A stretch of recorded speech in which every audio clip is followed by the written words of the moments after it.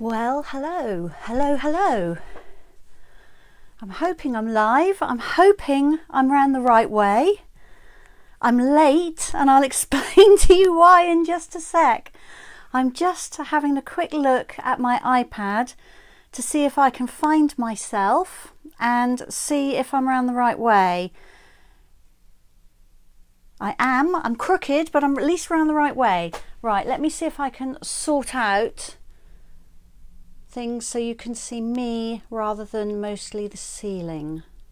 Okay, that's a little bit better. Hi Sandy, hi Maureen. Lovely to have you join me. I'm so late. I was setting up the stand I use to hold my phone, which is what I film on, and it snapped. Um, it's plastic and it just snapped. And where it snapped is the bit where it actually fixes onto the table. So it's not a, it doesn't have a stand as such. It's got a clamp and the clamp has separated itself from the arm. So I thought, okay, well, what do I do now? Because I don't have anything else. I only have, you know, have this one thing. So instead, I have dug out a reel of duct tape, which is sort of working. I duct taped the two pieces together and I've duct taped the stand to my desk but looking at the angle of it it's not doing well. So I'm hoping I will last the course this afternoon. If I don't my huge apologies. I'm going to have to urgently get a new one um, before next week and we'll just have to see how we go. Honestly life is never dull is it? So I might have to put another bit of duct tape on there in a sec actually. In fact I think I am because the whole thing's falling off Okay, so I'm going to try and talk to you at the same time as jury rigging this stand. I don't know if I can tear duct tape one-handed. Let me come forward, see if I can kind of hold things steady with my arm. Can you still see me? Oh, this is great, isn't it? This is absolutely live, as you can tell, because nobody would ever pre-record a session like this. Okay. Sandy says she doesn't mind me being a bit wonky. yes the Stampin' Up wonky donkey. Yeah, I'm getting wonkier and wonkier. Look away for a minute because everything's going to wobble horribly. I'm trying desperately to get some duct tape off the reel without actually dropping the entire stand. Right, let me have a look. I should think I'm over the place again. I'll try and keep it relatively straight while I tear off another 20 metres of duct tape and stick this to my desk.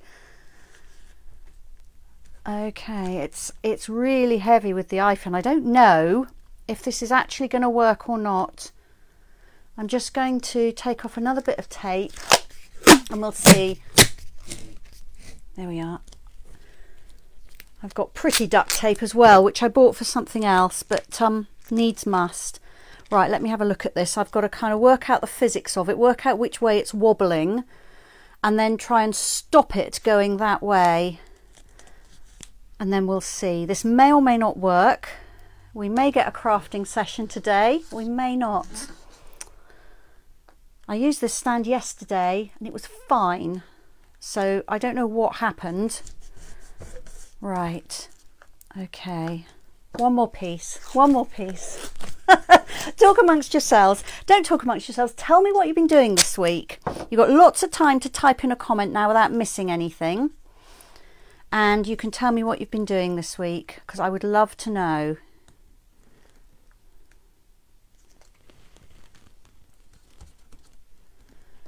Okay.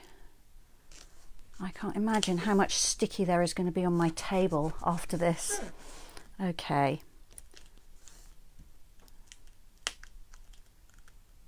Ooh, I don't I don't know if this is going to hold.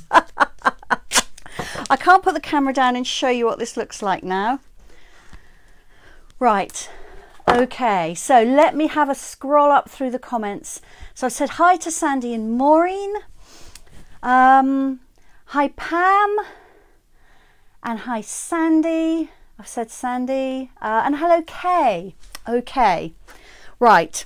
So I'm going to quickly go through my introduction, very gently turn my camera down and maybe we'll get some crafting in maybe we won't I'll just have to see how I go. I am, of course, putting on hand cream because believe it or not, I was here with 10 minutes to spare, ready to do everything in good time and not be late. But you know, life happens, doesn't it?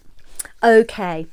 So Sandy's been starting on her Christmas card list and realizing she has to make another 100 cards but she's doing some gardening. It sounds like you need a little bit of a, a, break from things if you've got that many cards to make, Sandy. So well done on getting some gardening done and well done on starting on your Christmas cards.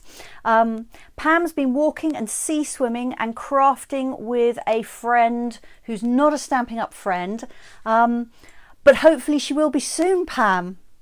Mary's here. Hello, Mary. Lovely to have you here.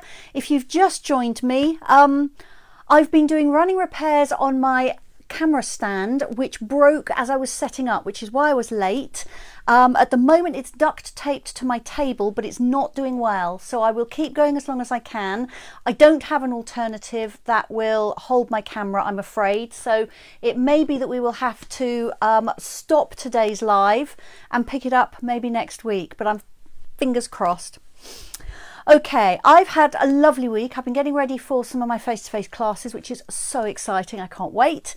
And um, oh gosh, and last weekend I um, last week yes it was last weekend I did some singing at last live in the open air. It was absolutely fantastic. Um, joined back with my choir live outside. Um, it was quite emotional.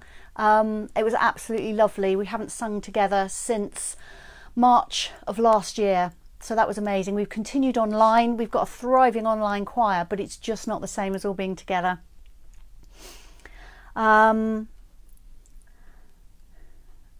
Okay, so yes, so Sandy agrees with me that she's a non Stampin' Up friend at the moment, and Pam says, sadly not, she's tried countless times. never mind, Pam, never mind, just keep trying. Mary says hi to everyone. I think everyone else has said hi to everyone, although I may not have said that. All right, what's happening with Stampin' Up? Um, celebration is continuing.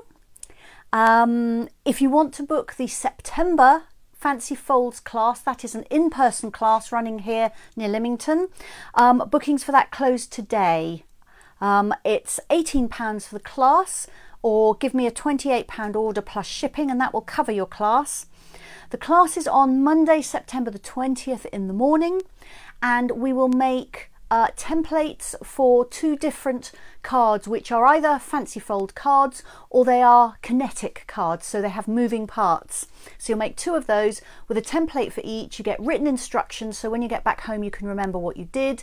You get all the measurements on a sheet and you'll also make two lovely projects one of each kind of card so you can book that class by today um, the Beauty of the Earth sampler, which I showed you last week, I was going to quickly show you again this week very briefly, but I may just get straight to the crafting, I think, as our time may be limited.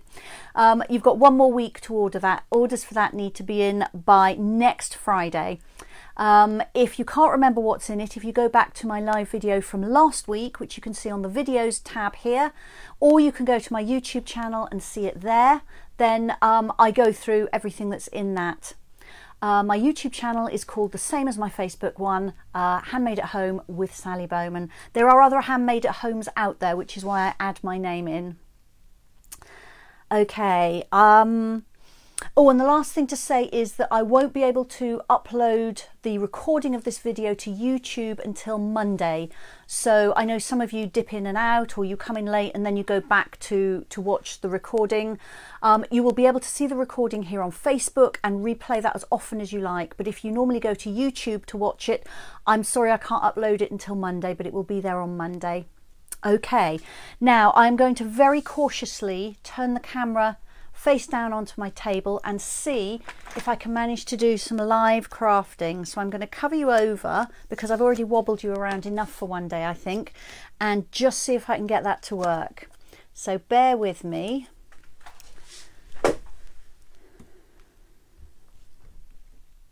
I have no idea whether we're going to get this done or not, but you don't you don't know until you try, do you?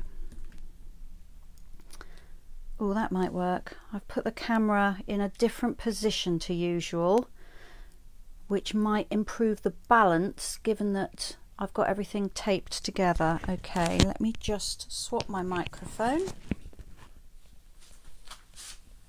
and get the microphone lead out of the way. I really did not want to have to spend money on a new phone stand, but I'm going to have to. So you're all going to have to go and place lots and lots of orders so that I can get a new phone stand. okay, right, I'm going to take the covering off the lens and let's just see how we're doing. Okay, get, get it to focus, that's better. Okay, I'll see if I can just improve this slightly.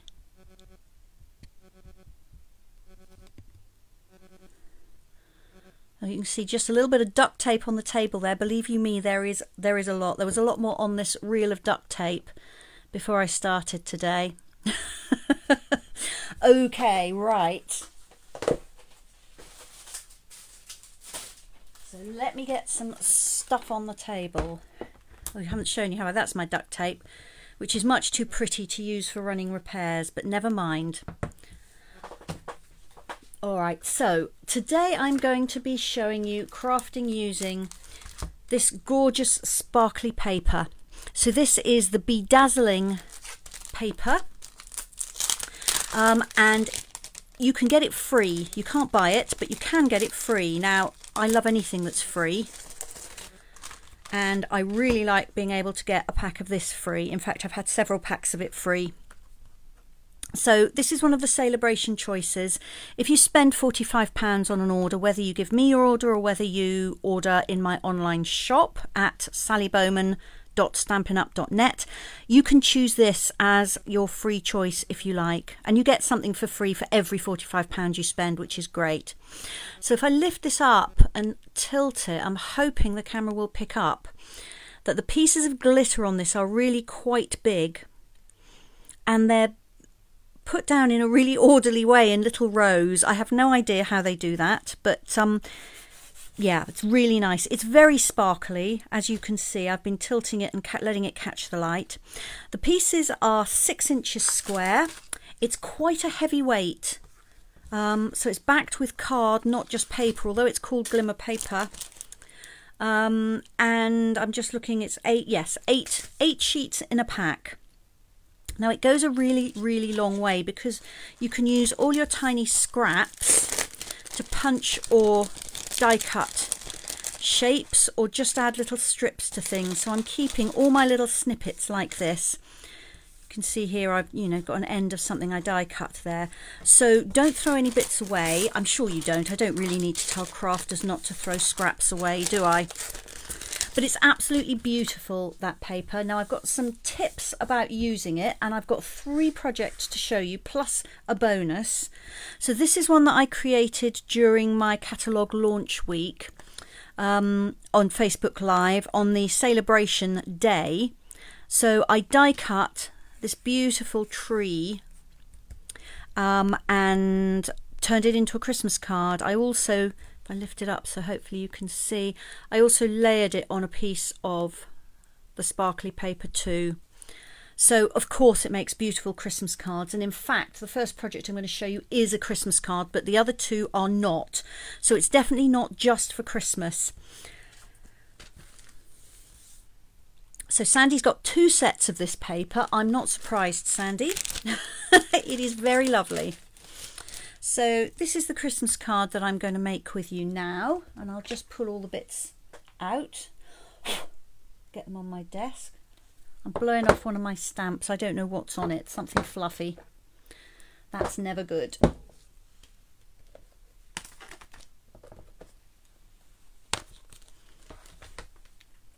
All right, find my ink pads, find my ribbon.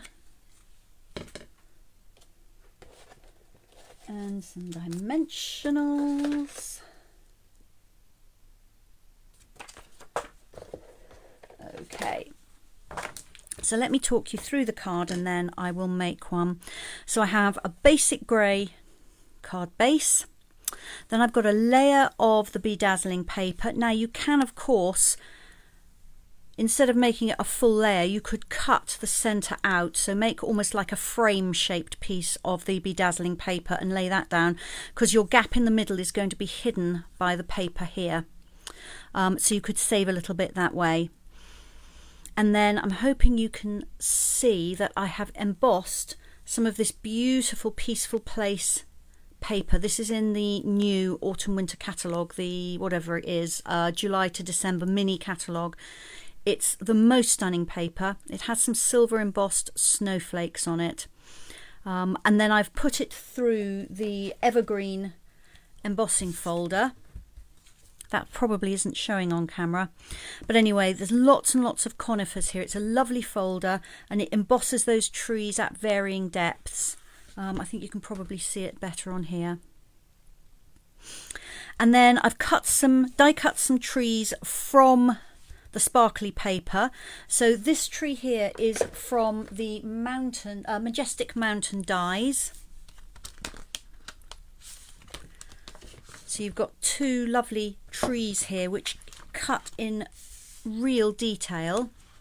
And then the little trees are from the cabin dies. So this is in the same suite as the patterned paper.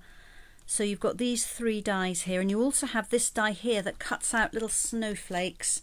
So you can either cut um, apertures in your background and put the sparkly paper behind or you can do what I've done which is use the confetti that comes out and I've just added that as little snowflakes.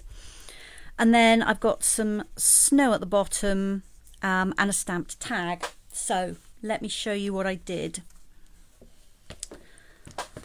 All the bits in here ready. I've done the die cutting as usual because um, my machine does not fit well under the stand for my camera. Who knows, maybe the new one will. I'm just checking I haven't left any bits in there.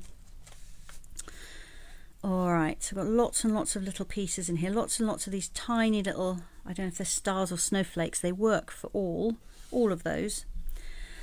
So I've got some of the trees that I cut with the cabin dies, which are lovely. I like them, they're kind of shaggy trees. Um, in They're in three sizes. It's another snowflake. This is my tree I cut using the Majestic Mountain die. So this is really lovely too. And then I've got a piece for the ground, which I cut, uh, I'm looking for my set of dies. Here we are, using the Inspiring Canopy dies. So this is the same one, I showed you the trees earlier. And then you've got this line here, which just cuts you a wavy ground. Now, of course, you could cut a strip and then just cut a random curve or two with your scissors and that would work fine as well. Um, if you're going to cut this glimmer paper with dies, if you possibly can, turn it over and then put your die on the paper side because you will get um, a nice clean cut and it's a little bit um, kinder to your dies than cutting directly onto the metal. So that's my top tip for that. Um, if you're cutting this using a trimmer, which you might be if you're cutting a layer like this, then I always keep an old trimmer blade and I write on it glimmer or glitter so that I don't use that blade for anything else. So when I change out my blades, because when I cut the card it's a, a little bit fluffy, I'm not getting a really clean cut, I'll keep one of those blades and write on it that it's for this glittery card and it cuts it fine. Uh, although it may not cut paper without it fraying, it cuts this absolutely fine. Um, the metal in the glitter will blunt a cutting blade really, really fast, so I use an old one. And funnily enough, an old cutting blade will last for absolutely ages for cutting this kind of paper. I don't know why, but it does. Um, so definitely keep an old blade or two for doing that, and it's worth changing it out from your regular cutting blade, just so that the one you use for paper lasts a bit longer. So that's my piece for the ground. Then I've cut a tag here using the new tag dies and I thought I'd left those out to show you but I don't seem to have done. I might find them in another bucket um, you never know. If I do, I'll show you. Uh, these are quite new to me. I've only just got them, and there are two shapes of tags, um, and they've got like stitched edges, and then there's also a die to cut these little, I guess they would be reinforcing pieces that fit on there like that. So they're really fab. I love these. I'm not actually going to be using that on this card because the bow completely hides the hole, but um, but it's there if I wanted it. So that's the pieces. So let me bring these back and start to glue things together.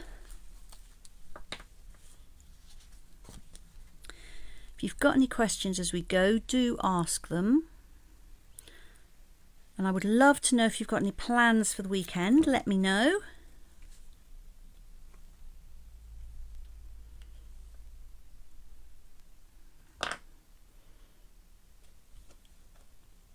I've got a family thing this weekend, which I'll be able to tell you about next week. Um, my husband's family rather than mine. Um, so family, family and, and friends of, of my in-laws. So um, that's what we are going to be busy doing this weekend. Now this is quite heavy paper or card, depending on which way you look at it. So use a little bit of extra glue, be a little bit more generous than you would normally and when I glue something on top of glimmer paper I always use more glue than I normally would because the glue makes its way down into the spaces between the pieces of glitter so you need a little bit more to compensate from that. And when I glue down a piece of something that has been embossed I always use some extra glue because on the back you've got quite a lot of debossed areas so those areas won't really be making contact so the ones that do need a bit of extra help. So when you add embossing and glimmer together you need more glue than you would think it also takes a little bit longer to grab, so I'm a little bit more patient with it than I normally am. And I usually carefully turn it over and just really make sure that I've got good contact all the way around on the back. And in fact, I'm going to just drink a little drop of tea and give that a moment before I turn it back.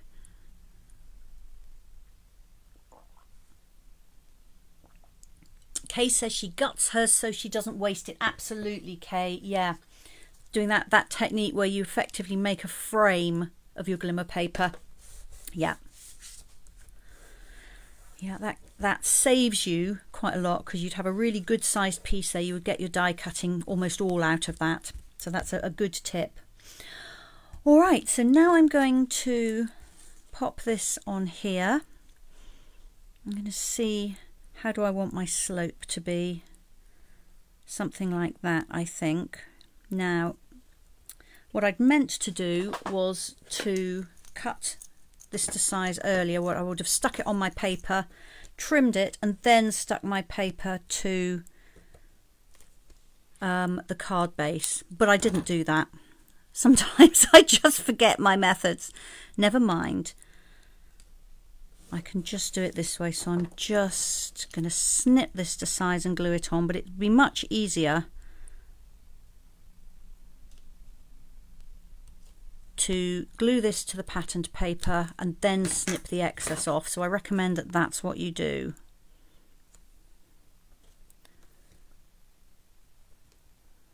There we are. So that's another layer to go on.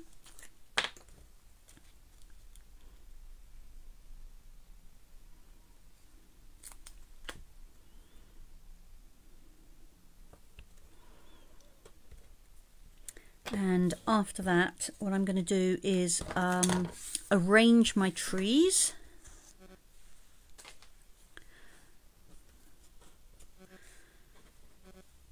So I'm going to put the tag on the left so I think I like um, my tallest tree on the right. Actually I've slid my paper. I wonder if there's any movement in that. There we are. I've got a tiny gap here but I think the tag's going to hide that So I'll put probably three trees here. I'll put two tall ones here and then a medium sized one in here and then I'm going to keep the others for another occasion. I just cut a whole load so that I had enough to play with. So let's pop those back in my bag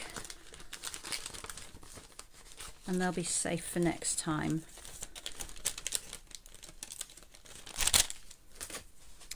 All right, so stick these down.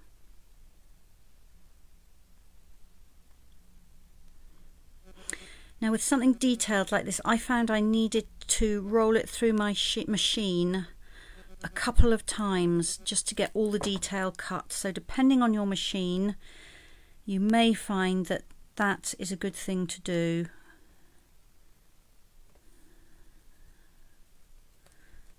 And it did take me a few minutes to poke the confetti out, but that's okay. I think it was worth it. Right, so I'll stick these two trees over on the left. And again, I'm using a bit more glue than I normally would because this is heavyweight paper.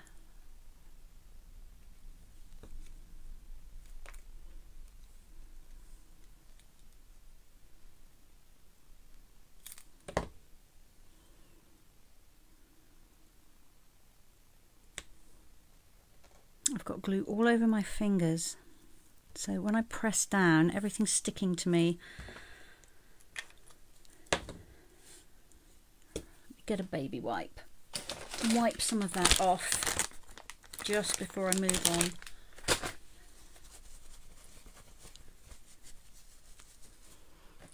Okay, uh, right, where was I? I want some mini Stampin' dimensionals. I'm just going to make this tree a little bit 3D.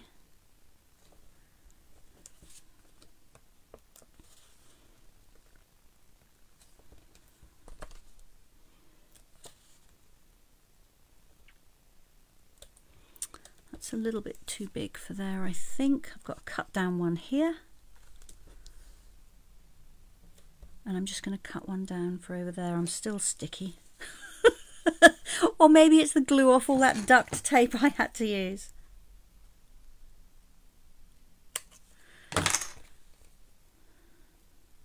Just cut a tiny piece there. Yeah, I was just checking that's not going to show from the front and I think it's okay.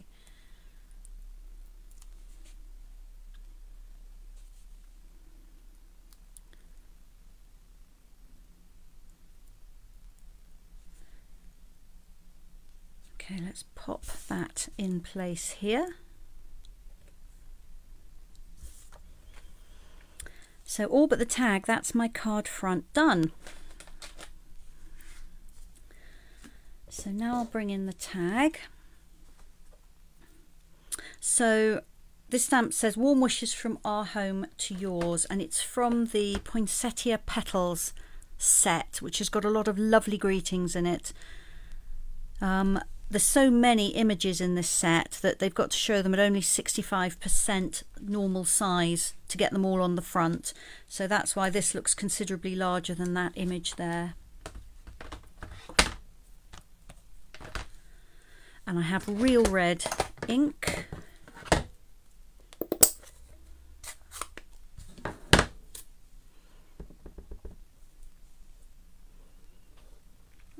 Hoping you can still see this. I've got to bring it fairly close to me, otherwise I can't see to stamp it.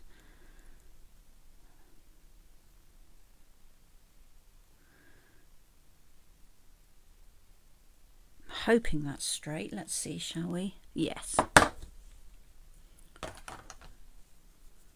And I'm going to put dimensionals on the back of this.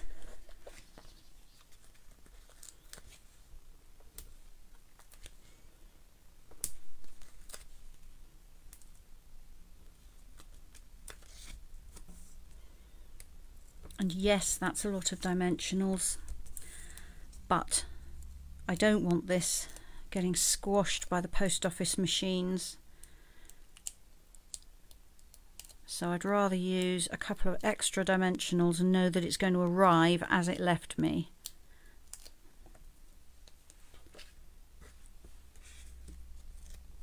Okay. So I'm going to just pop that on at a bit of a, a jaunty angle. And then I'm going to tie a bow. Let's see how I do tying a bow live, shall we? This is real red sheer ribbon. It's really pretty. Um, I like the satin edges and then the kind of organza centre to the ribbon. As always, when I'm tying a separate bow, I don't do that first knot that you would normally tie if you were doing your shoelace. I just start off with the loops. Um, if you want more ideas for ribbons and knots, I did a Facebook Live a few weeks ago, which you'll find on the videos tab or on my YouTube channel. And you can have a look there. We did several different ways of tying this kind of bow. We did um, a few different knots. We did a, a, a bow with double loops. We did all kinds of things. So take a look at that if you want some ideas or tips. I always hold bows on with mini glue dots because it's just the best thing. They grab instantly and they're really strong. I've put two on there because I think the first one is probably going to fill up the hole in the tag. So I'm using them almost like a dimensional with one on top of the other. So all but a few stars, that is my card front. So let's put just a few of these on. Doesn't really matter where they go. I'm just going to add some little tiny dots of glue and then just drop these in place. Um, there we are, I was looking for a smaller one. There's two different sizes of these that are cut out by the die, so I didn't want them all to be the one size. I'm still covered in glue. I'm going to be picking this off all evening, aren't I? Do you ever get days like that where you're just a messy crafter? I'm obviously having one of those days.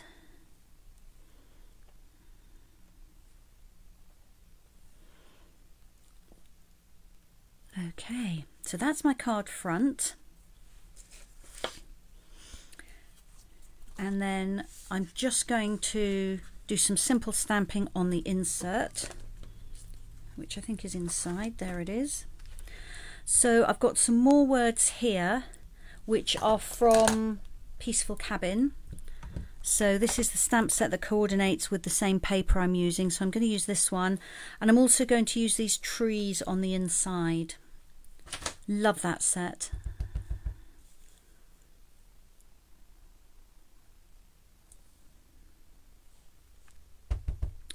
So I'm doing this in red. It doesn't look straight. I'm just going to just going to see if that's straight. Yes, it is straight. So it's straight on my block, even if it doesn't actually look straight. And then I'm going to use basic grey ink to stamp those trees. So I'm just going to ink up these two. There are three trees on the set, uh, on the stamp but I don't need all three because I'm just going to kind of go off the edge here.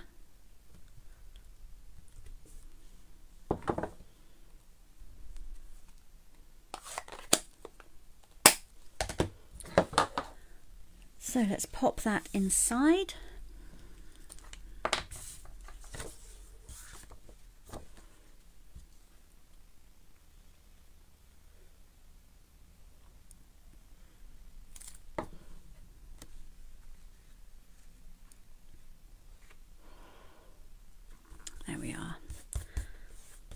So I haven't yet made 100 Christmas cards, which is what Sandy needs to do, and actually is probably about as many as I need to make as well.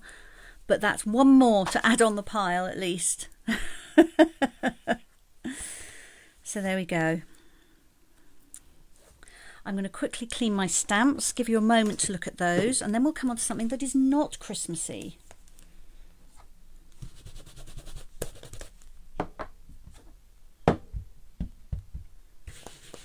Ooh, they're not even in shot, are they? Let's move those over a bit, see if I can do better on that.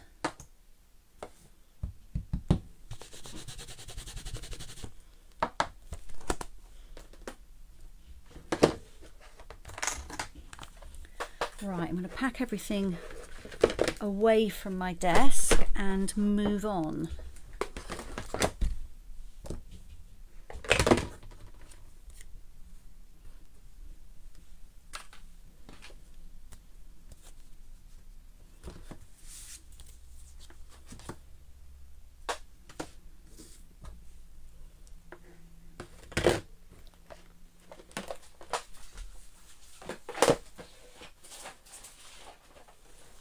Now, this sparkly paper is lovely. It's a sort of a champagne colour, which means that it's going to work with silver, it's going to work with gold. But what if you don't want it silver, gold or champagne? What if you want it red or pink or yellow? Well, you can do that because you can colour this. And that's what I've done on this card.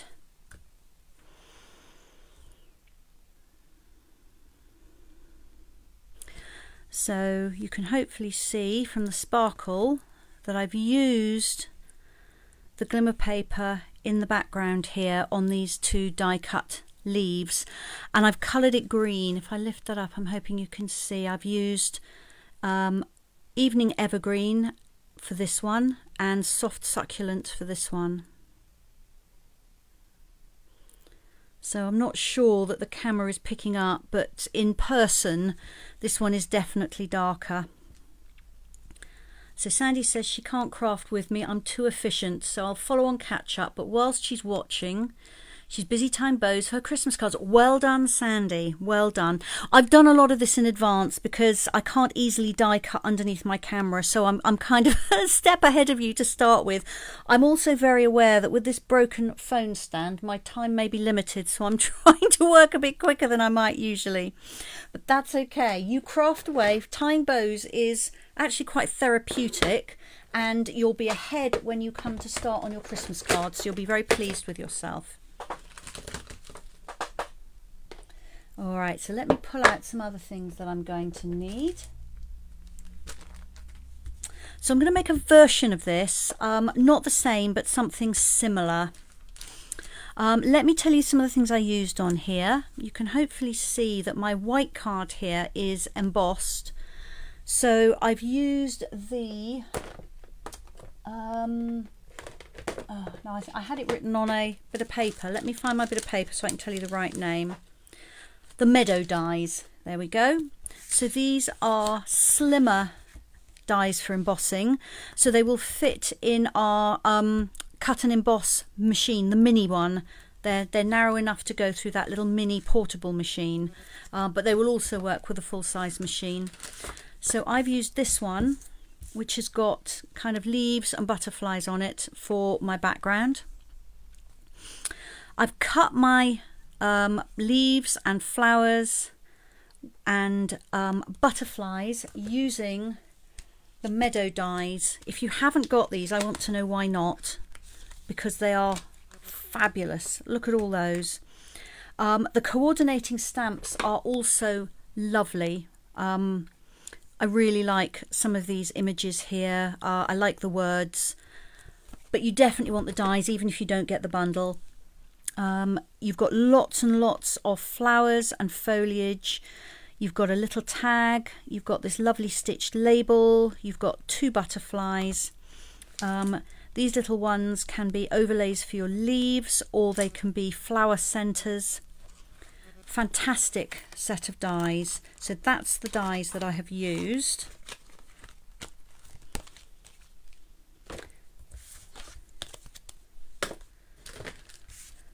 So I've got some cut out pieces here.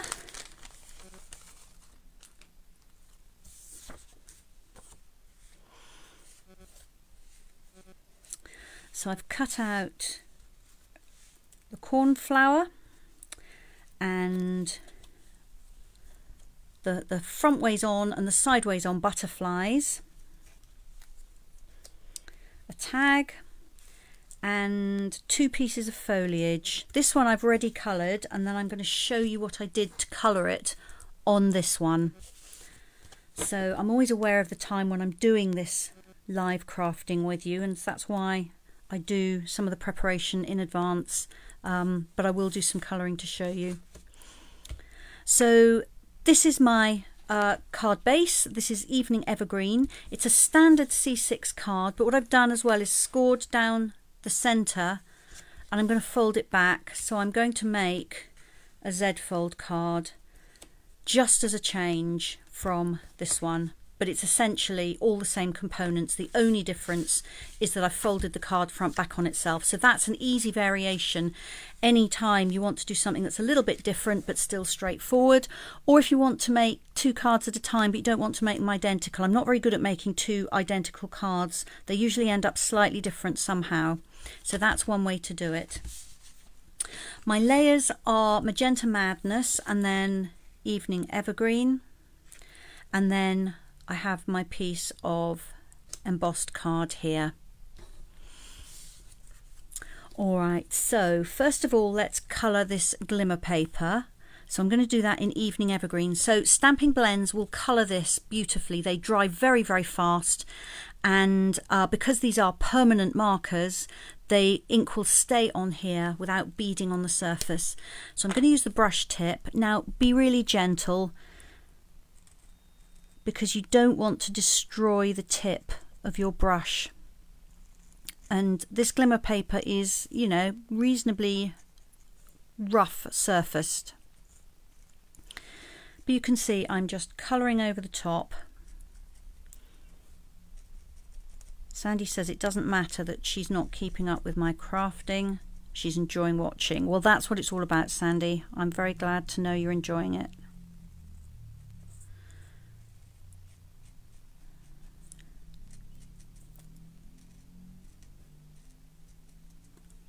So if I was pressing quite hard, each of these little pieces of glitter would be catching on the bristles of the brush tip and it would be all fraying. Um, but they're not because I'm being careful. So as long as you're careful, it will be fine. And I'm hoping you can see, let me lay that on something white and lift it up. Hoping you can see that that is now green. So I think this is really worth knowing because it suddenly makes this paper so much more versatile. I'm also going to colour these. I've got my cornflower here. So I cut these from watercolour paper because I absolutely love the texture. It's really thick with a slightly textured surface. Um, so the pieces just stand up a little bit when you put them on your card, but you could certainly use standard white card. And although it's watercolour paper, obviously I'm using my blends on this. I'm not using um, watercolour at all on it. So now I'm going to bring in um, my soft succulent Stampin' Blends marker and just colour in the stem actually I'll bring that's the light one. I'll just bring in the dark one and just add just a little bit of shading and then blend that with the light one. And once that dries you just get a slight graduation of colour. If you haven't tried these markers yet they are very easy to use. They're alcohol based. That makes them permanent. And it also means that although I'm colouring in a fairly kind of sketchy way here, once they dry, you end up with beautiful smooth colour. You know if you colour normally with felt pens, like water-based markers, um, then you you try and colour in neatly in lines, don't you, like this? Because those line marks show, but as you're looking at that, you can see those lines disappearing. So you get this beautifully smooth colour I'm just going down the side of this because it's such thick paper. I'm actually colouring the sides there so I don't have any white showing. So that's my cornflower. I'm going to colour my butterflies magenta. Um, I think I'm going to use, I've got the light and I've got the dark here. So I think we'll start off with the light. Gosh, that's bright, isn't it? I love a bright pink. It's always been my favourite. My mum used to call this colour shocking pink. I can remember having a dress this colour when I was about eight. I absolutely loved it. And pink is still my favourite colour. So when you die cut these butterflies, there is a little raised area on their wing, which I've coloured with the dark marker, and then I've just blended over the top with the lighter one. Um, as that dries, it will just, I'll have some shading of colour, but it won't be quite as um, obvious as it is there. So let's do the same with this flat butterfly.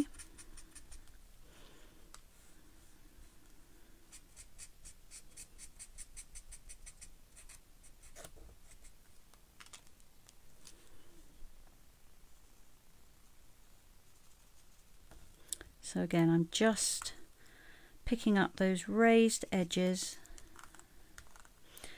The important thing when you're blending with these markers is to make sure that everything is wet as you're working so you don't want to work on too large an area at a time. So I coloured in the light marker then while that was still wet I added the dark marker and while that was still wet I'm adding some more light over the top and the fact that it's all wet allows it to blend really nicely. So let's find a clean bit. Here we go. So this one here is drying so you can see that it's it's blended. It's not nearly as obvious as it was. But now I have a question for you. I've got some crinkled seam binding ribbon here for my bow and I'm going to colour it because I wanted a piece of ribbon that was the, a colour that would match in with my card. So are we going to go with blue or pink? Let me assemble these here just roughly. Uh, where are my layers? There we go. I'll put those by the side. I'm not going to put everything on there just in case some of the ink from the markers is still wet. So that's what I'm going to use. So what bow am I going to tie this with? Am I going to colour it this blue, which is light Night of Navy, or the magenta? What do you think? I'm going to drink some tea while you decide.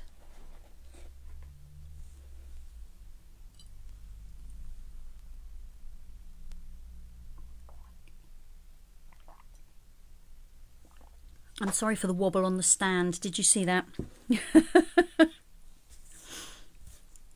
okay, I'm going to start to layer these pieces up while I wait for an answer. I haven't had a single answer yet, but there is quite a long lag today. I don't know why there's such a time lag on this.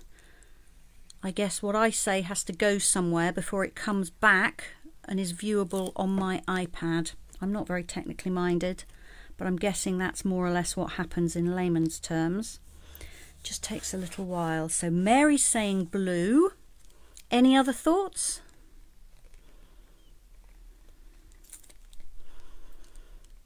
I'll take a majority, so uh, if you've got a strong opinion, let me know.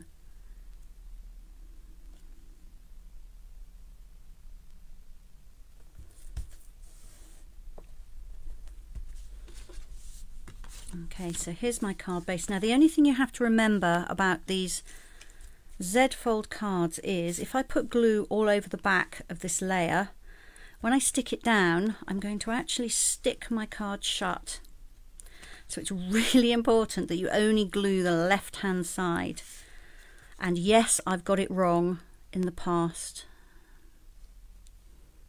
In fact, I've even got it wrong on camera. So I'm trying really hard to get it right today. Kay saying blue as well. Okay, looks like it might be blue. So let's stick that down. I'm going to go with blue. I've had two votes for blue, which is interesting because I think I'd have done pink if it was down to me. So thank you for your help, ladies. Okay, so you can also use your blends for colouring ribbon. And it's just a case of, I sort of hold the brush tip flat and just stroking the colour over. With a ribbon like this, which is really thin, it soaks through. With a thicker ribbon, you'd have to colour both sides. But if you get some white ribbon, you can have ribbon any colour you like with Stampin' Blends. You can also use them on your rhinestones, on your pearls, all kinds of embellishments because it's a permanent ink so it will colour pretty much anything. Oh, and Sandy says blue too. Excellent. So you're going to be very pleased with this ribbon. this is probably far more than I need. Um, but I'm going to do a double bow, double looped bow on this. So I do need a bit more ribbon than usual.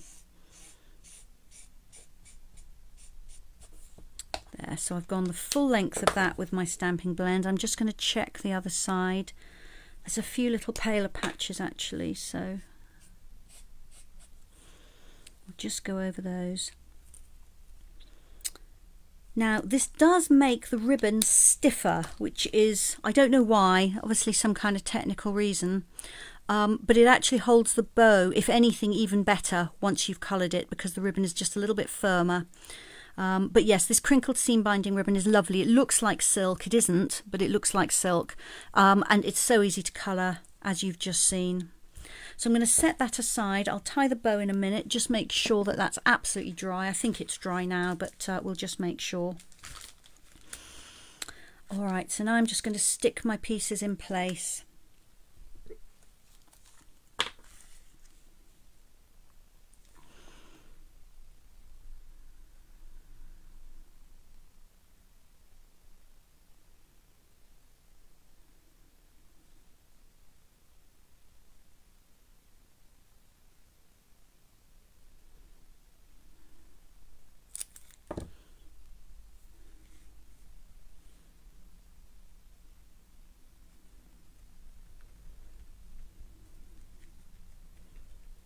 So that's the first one. So this one I covered in coloured in soft succulent.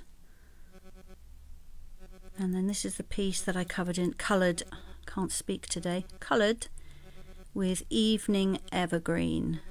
But whatever blend you've got will work on this paper. I was very excited when I discovered you could do that.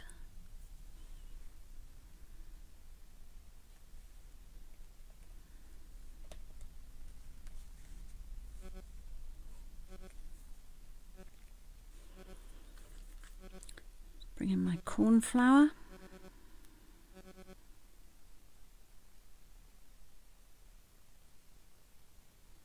I'm just putting little dots of glue down these fine parts.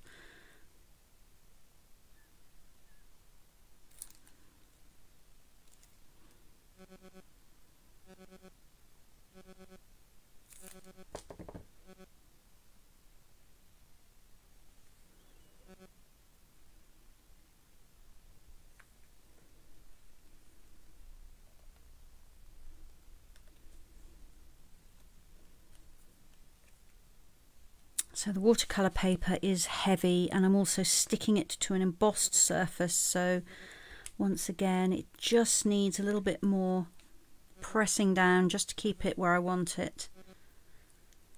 There we are. And then my butterflies. So actually I'm just going to colour the back of this a little bit more and then I can fold the wings back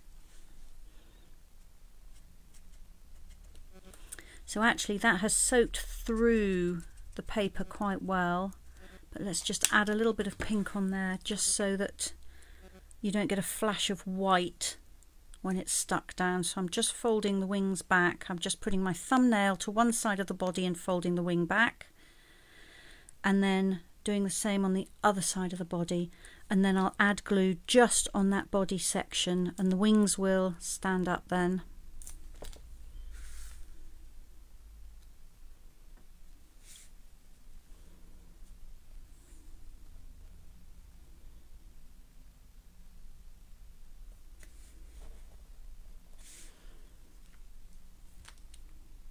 and then this sideways like half a butterfly um, I'm going to stick flat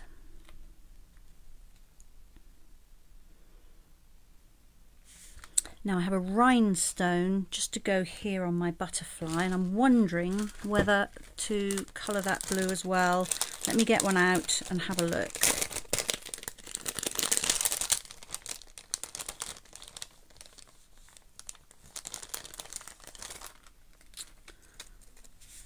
So I put that there. I think that's a little bit silver. There's nothing else on here that's silver so I think I am going to do as I told you you can do and just colour that blue.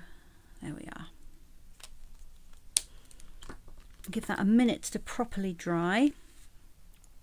Um, do my ribbon in a sec. Right, just need the tag. So for the tag, I've got this teeny tiny stamp which says for you and it's from Hydrangea Haven Again, there's a lot of stamps in this lovely set, so they're only shown at three quarters of their actual size, but it's this little one here.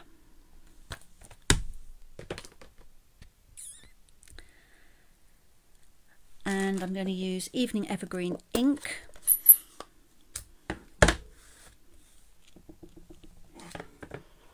And again, I may be pulling this out of your view just to stamp it. There we are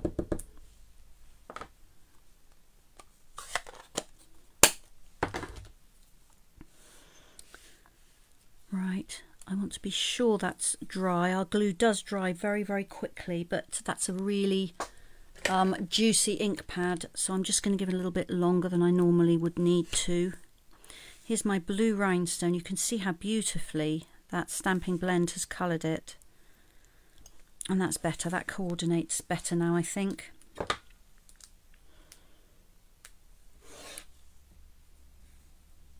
So now I'm going to glue that little tag on.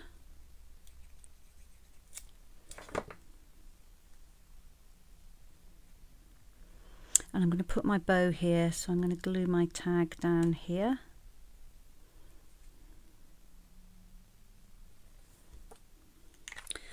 and now I'm going to tie a double looped bow. Now I did one of these last week and I don't know what happened to my words last week. I don't think I explained it at all clearly, so I'm going to try again. So with my non-dominant hand, I'm right-handed, so I'm using my left hand. Um, I'm going to hold the end of the ribbon, leaving a little tail between my thumb and my middle finger.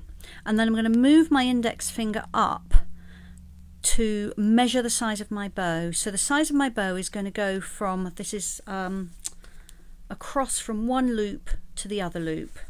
The size of my bow is going to go from the bottom of my index finger to the top of my, sorry, bottom of my middle finger to the top of my index finger. So I think that's about the right width for the size of my project.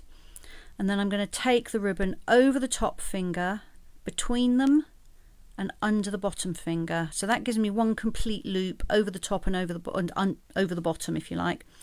Then I'm going to come back between them and go over the top one between and over the bottom one again. That gives me two loops. Then I'm going to take the same working end of the ribbon across the middle and poke it through between my fingers and pull it out the end out the back. Bring it back round to the front and then from the bottom I'm going to poke it underneath itself so this strip here is the bit that went round and behind, so I'm just going to poke that end underneath that loop and pull it tight. And this will then be what holds the bow together in the middle. And I think some did something come adrift there. Doesn't feel right. So let's just do that again. It doesn't hurt to do it again because then I can talk you through it and show you again. I think something came off my finger as I was explaining. Okay.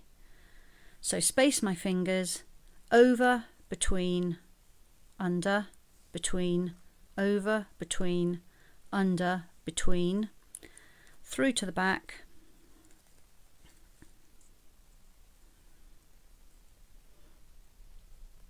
and then up from the bottom. And this is where really, if you had three hands, it would be a little bit easier but never mind. That's better. So I'm going to pull that tight, slip it off my fingers, and there we go. There is my double bow, double looped bow I should call it, because we talk about a double bow, don't we, in, in a different context. Just pull that really nice and tight. Okay, and then I just need to trim the ends. I really love this way of tying bows. It's quite new to me. I've only fairly recently learnt it. And I just think it makes such a pretty bow. So that's ready to go on here with, of course, a couple of glue dots. Unless it's a teeny tiny bow, I usually use two glue dots just to make sure that I've covered a nice big area.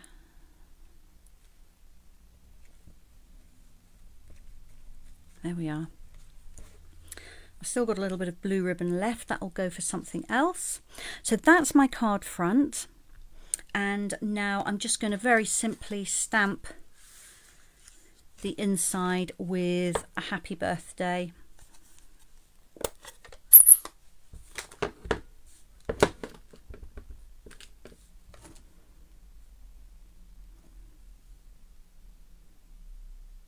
Now I know this looks crooked because I stuck the label on crooked, but I did check it was on the block straight before I started.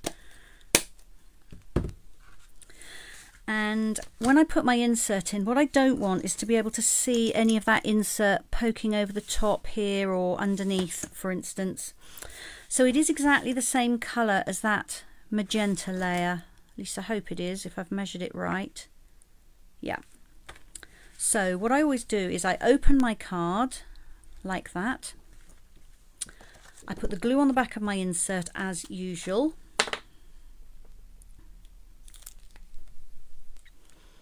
getting to the point where I need some more glue.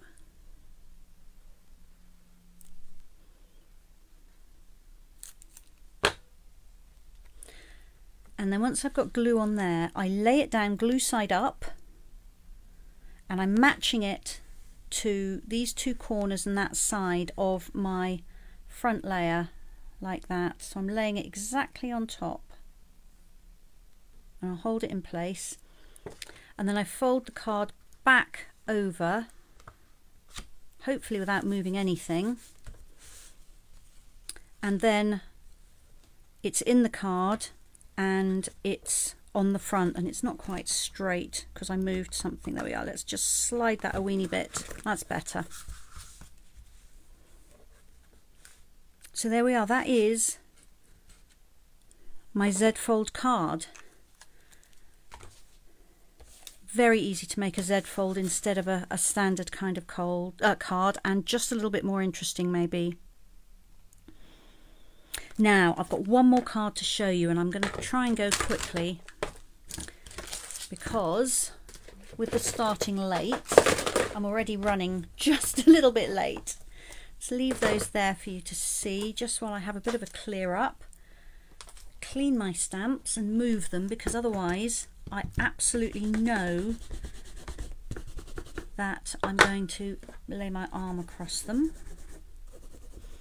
Thank you, Kay. Kay likes the card. So yeah, I, I was pleased with this. I must admit, I'm um, probably shouldn't say that, should I, about my own creations, but, but I was very pleased with this one.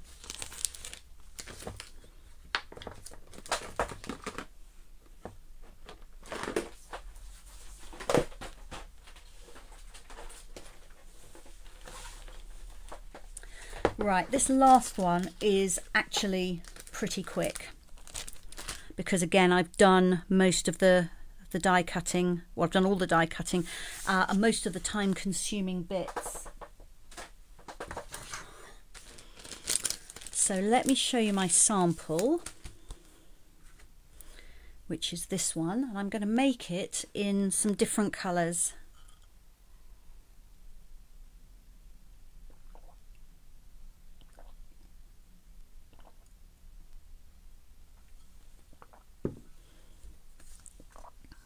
lift that up a little bit so you can see the detail.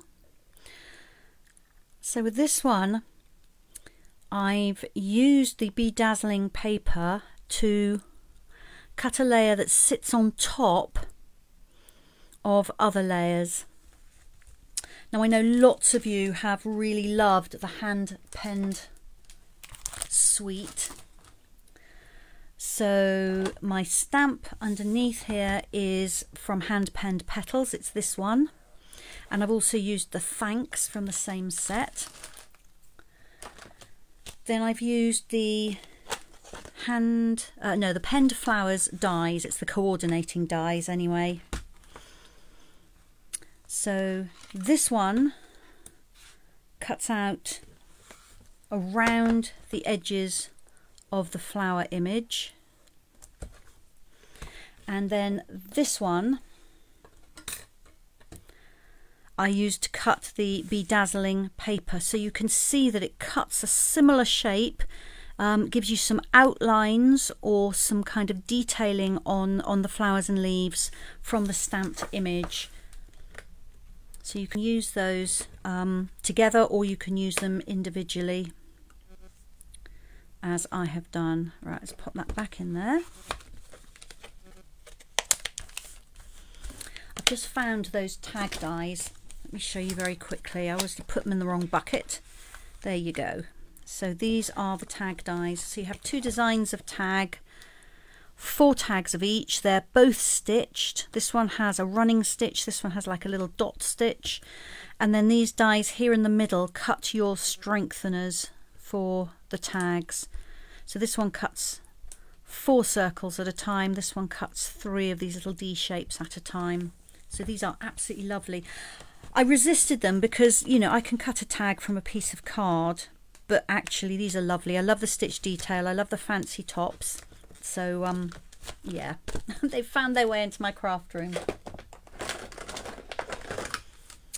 All right, um, so back to the card. So this scalloped layer here and also this scalloped edging here, they're both stitched as well. They're both cut using the scalloped contours dies, which again are lovely. So you've got lots of layers here of all different shapes. Um, so I've used this particular die to cut my white layer and I've used this scallop stitched die along the bottom and these two cut out stamps which are in the colour and contour stamp set which coordinates with it. That's the scalloped contours dies. Alright, let me pull out the bits.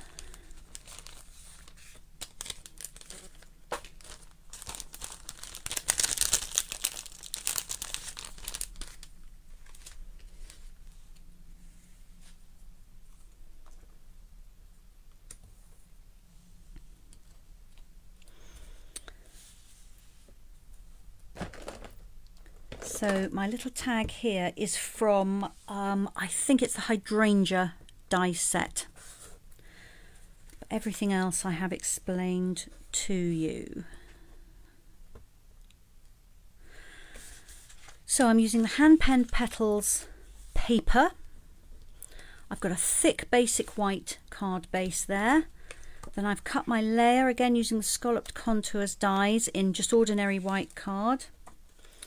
Then I've die cut one of those tags, one from patterned paper and one from card. And this is just to give a little bit of body to the tag so that if I want to I can put it up on some dimensionals on here.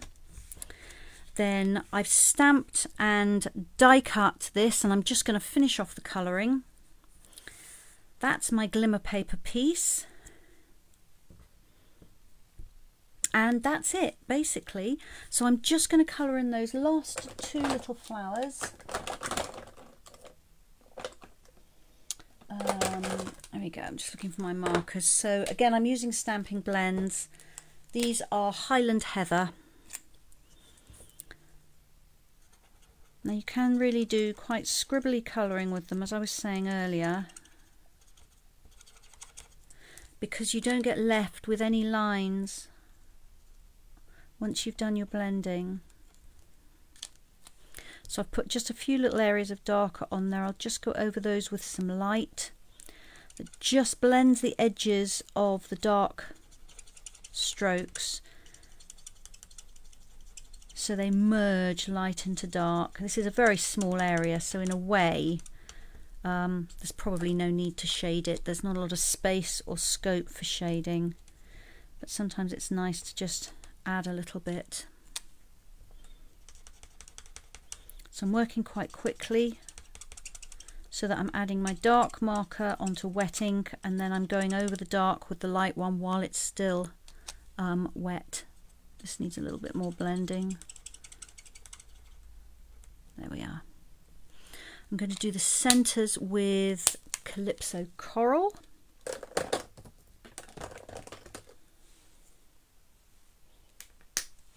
This is dark Calypso Coral. There we are.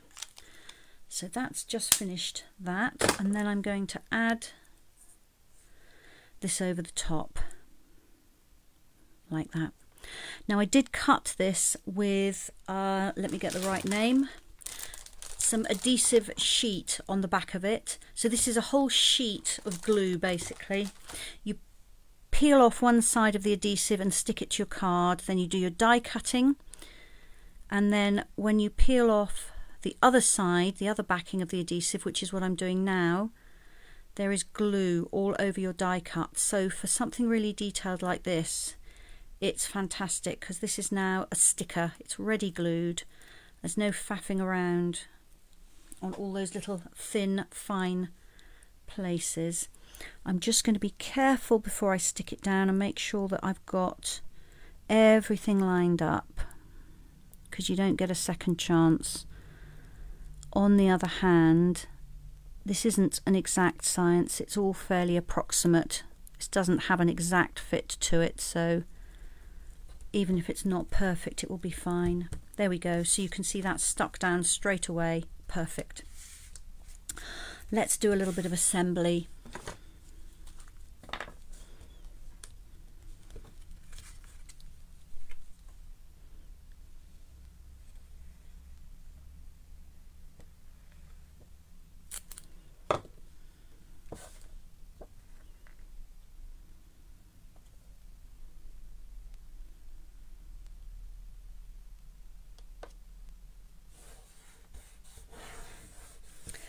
my first layer of paper. Then I've got my die cut card.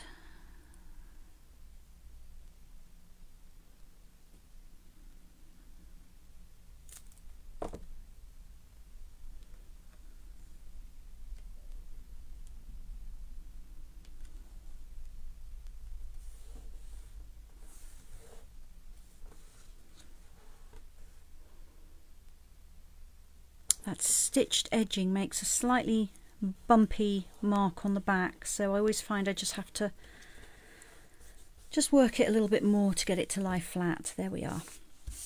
So now I'm going to glue these two tags together. As I say the um, the card one is simply to give a little bit more body to the paper one so that I can put some dimensionals on the back and raise it up a little bit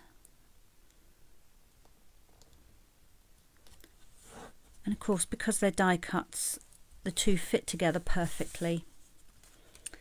So let me see if I can find my dimensionals. As always my desk looks like a disaster zone. I move as much as I can as I go but well I'm not a tidy crafter anyway. I always end up crafting in about four square inches of space despite the fact that I've got a very large desk um, with stuff everywhere. I'm sure some of you are like that. So again, lots of dimensionals because I don't want this to get dented as it goes through the rollers in the post office sorting office.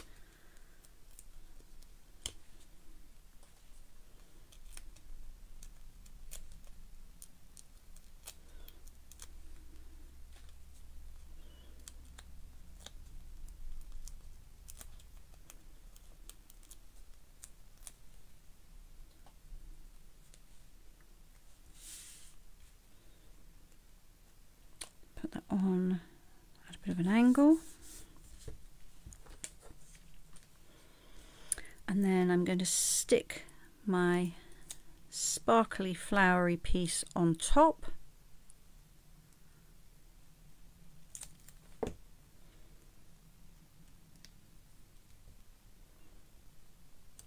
like that. And you can see that I've picked up similar colours. So I've used pale papaya marker here. That's in the paper. I've used Highland Heather here and that's in the paper there as well. My green is granny apple green and I've cut one of the little tiny circular pieces for my tag from Granny Apple Green card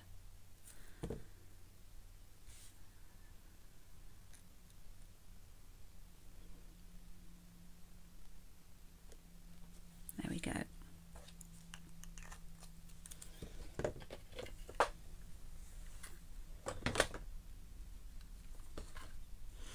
So instead of a thank you card, I thought I'd make a congratulations card.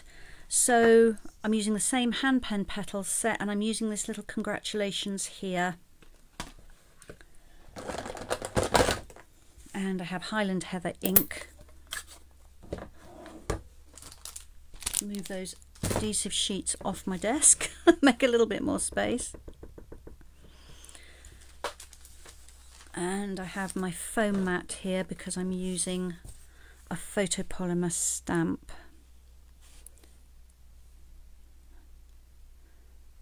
See if I can get this in the middle. There we are. Oops, turn it over, that's better.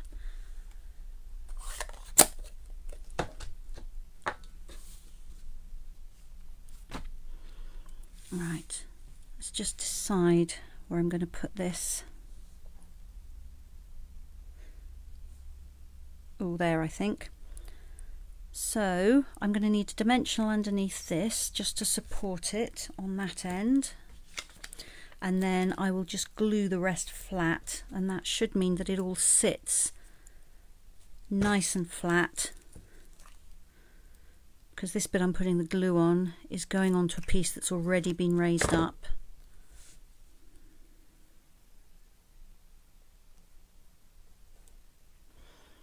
That just needs to, to grab there. And then I'm going to finally tie a bow.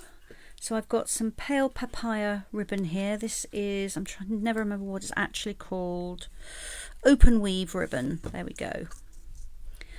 So I'm just going to tie an ordinary bow for this. So I don't start off with a knot, I just make the loop and then tie the bow. This is the way I always tie my shoes. But some people like to do a bunny ears bow where they make two loops and tie them in a knot. I can do that, but it's it doesn't come naturally to me.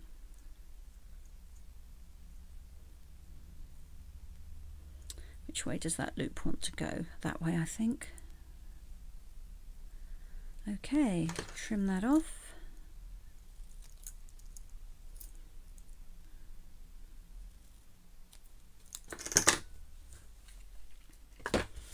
Find my glue dots.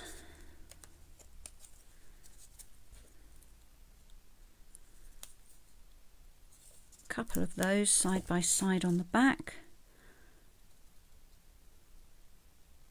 and pop that on the top. So that's the front of my card. And on the inside, I'm just going to stamp uh, the flower design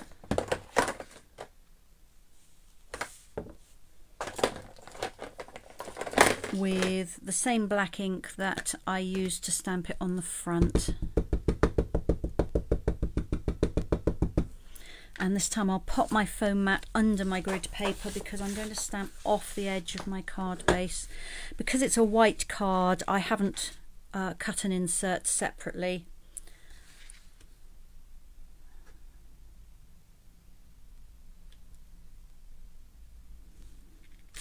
There we are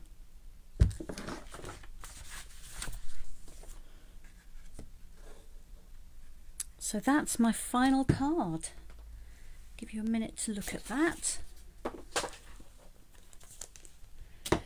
And we got through without the stand collapsing, which frankly is a miracle. It's on a bit of a lean, but um, it, made it through to the end. Now all I have to do is get 10 miles of duct tape off my desk. But anyway, that's a job for later.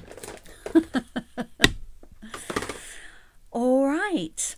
So let me bring in all the cards I made today for you to see.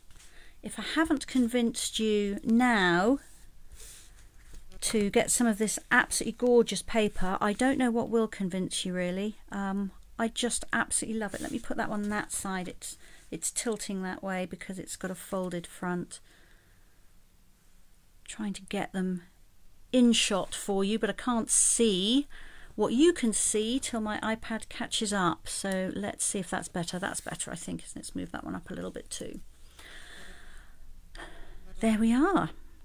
So three ideas for using glimmer paper as layers and die cuts, sparkly sparkly as it comes out of the, the pack, um, perfect for Christmas cards. Or die cut as it comes out of the pack, but not for Christmas cards. Or finally, colour it, which makes it incredibly versatile. You can coordinate it to all your projects.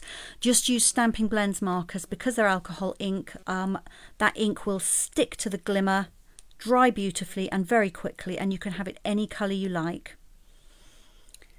Thank you Pam, I'm glad you liked the cards. It was lovely to have you here. I'm just going to cover you over and bring you back up, hopefully. We'll see. We'll see. If, if everything collapses, I'll just hold it in my hand and say goodbye, but we might just make it.